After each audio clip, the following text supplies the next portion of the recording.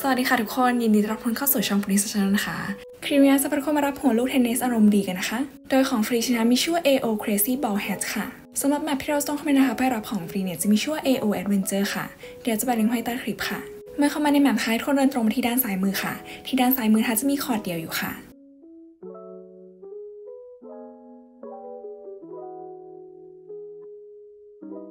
ตรงบริเวณนี้นะคะก็จะเป็นบริเวณคอร์ดเดี่ยวทั้งหมดค่ะ ทุกคนสามารถเลือกนะคะว่าจะเข้าไปเล่นคอร์ดเดี่ยวไหนค่ะ โดยคอร์ดเดี่ยวนะคะจะสามารถเล่นได้เพียงแค่หนึ่งคนเท่านั้นค่ะ ทุกคนจะต้องเล่นนะคะตีไปเรื่อยๆค่ะ จนกว่าจะครบทั้งหมด 20 ครั้งนะคะในการตีที่เราทั้งหมด 20 ครั้งนะคะเราจะต้องทำให้สำเร็จภายใน 1 รอบเท่านั้นค่ะ หากว่าทำไม่สำเร็จนะคะหรือว่าไม่ครบค่ะ ก็จะต้องเริ่มเล่นใหม่นะคะ โดยทุกคนนะคะสามารถเริ่มเล่นใหม่ได้เรื่อยๆค่ะ ตามที่ต้องการเลยนะคะ